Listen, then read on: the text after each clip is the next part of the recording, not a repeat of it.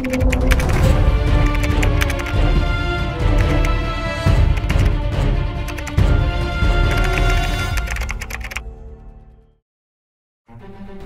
the really fun thing with the CSI camp is that you know the kids get to go through this experience of a whodunit. My goal is for them to learn about some fun science. So this year the science that I decided to choose really rotated around two main thematic topics and one of them had to do with genetic engineering and the other had to do with nanoparticles.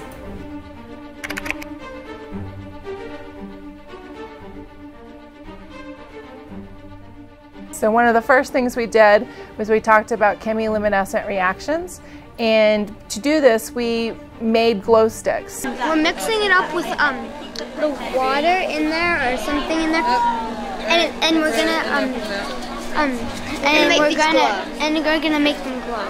Yeah. It's a glow um, stick. It will only last. It's like a regular glow stick. It will only last for a day, but it was homemade. Chemiluminescence. We did it in different vials so that we could split them up and look to see what happens at a chemical reaction at a warm temperature and a cold temperature um, and kind of compare the two and see, uh, learn a little bit more about chemical reactions and how they can produce light. So we have three different colors. We have a dark blue, a yellowish orange, and a green.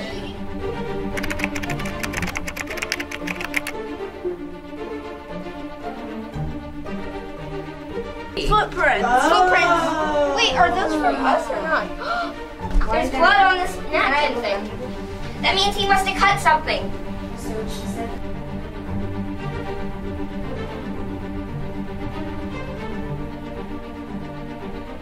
We found a lipstick and a tissue uh, that's lipstick stain in Ferris Maker's house. And we found weird, suspicious notes.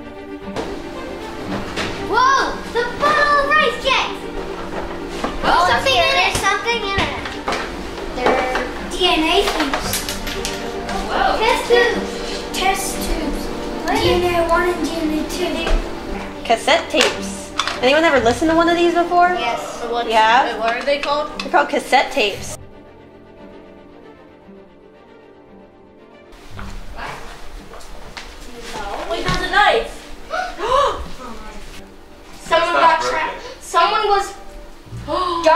Here. Oh. Um, another house. You, he was looking into G's house.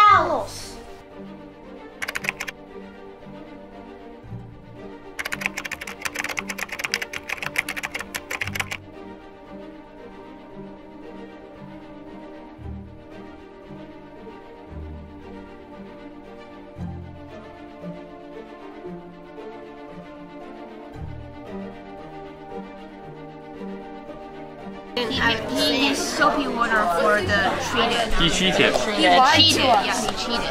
He lied to us. all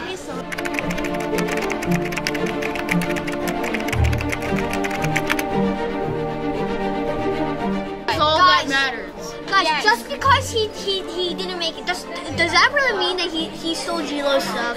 Yes. Yes. No. Uh, he's just he's doing a bad experiment. It's because in the ocean there's not going to be soapy water, and there's not, and we need salt water. This isn't salt water.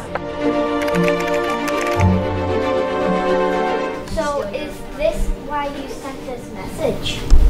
Oh, that's part of the reason why. Yeah.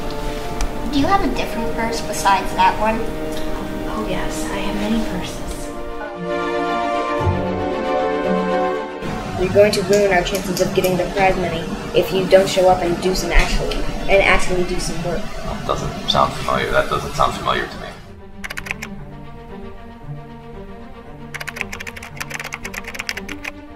There was a note left that the campers found where somebody had said something to the effect of, You can kiss your prize money goodbye, and it had lipstick kisses all over the note.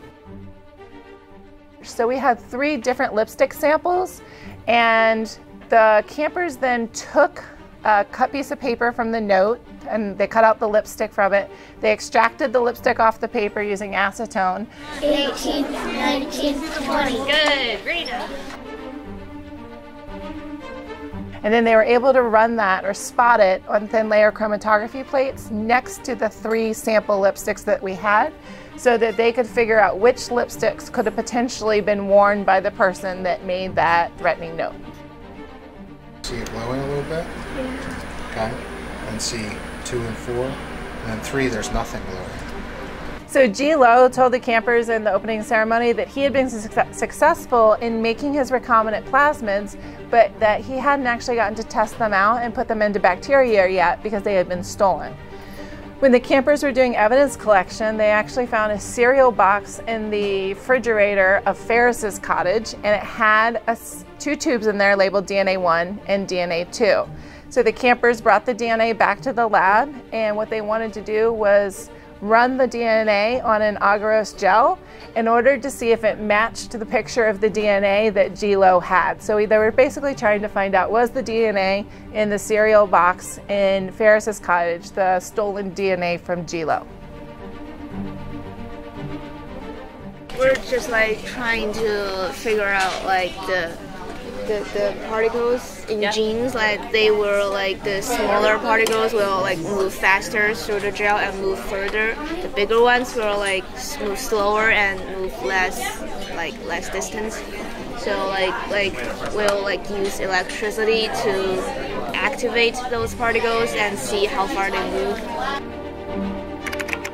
whoever had spilled the flask, they walked through the fluorescent bacteria. So there are fluorescent footprints all over the carpet at the cottage. They're going to be doing footprint analysis from shoes collected from um, different suspects in the camp.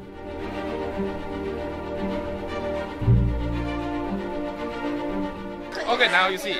This is from the left foot shoe, and this is this footprint is taken from the right foot shoe. So there's a mirror of reflection.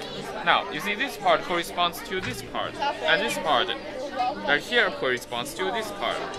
And now you see the line the lining here is fairly obvious on the on the top part, and also the lining here is also fairly obvious.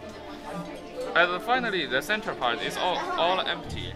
So we can safely presume that these are from the same shoe. And they're also going to be doing fingerprinting analysis to compare fingerprints that were taken from different pieces of evidence with the suspect's fingerprints.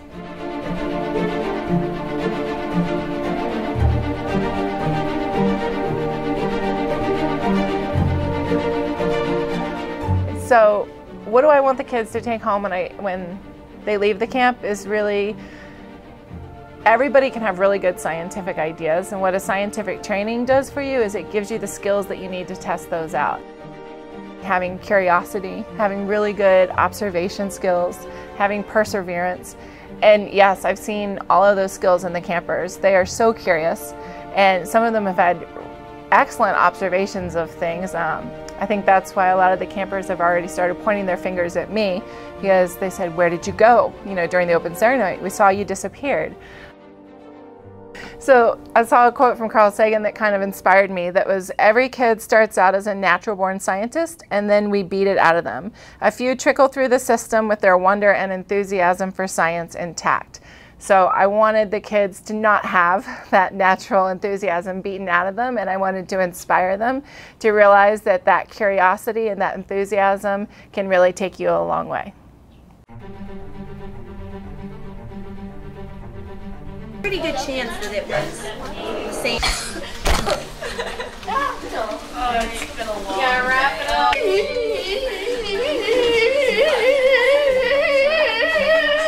Cassette tapes. Yeah, they're like an ancient form of music.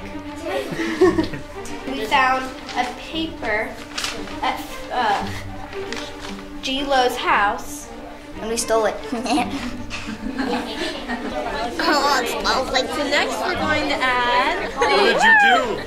I don't know what happened to that. What are you doing?